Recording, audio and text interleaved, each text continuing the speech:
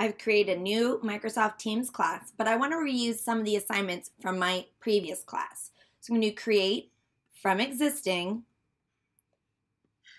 I'm going to choose the class and I can see the list of assignments. Now my best tip is to number all of your assignments. It makes it so much faster and easier for you to locate which assignment that you're trying to match from the previous class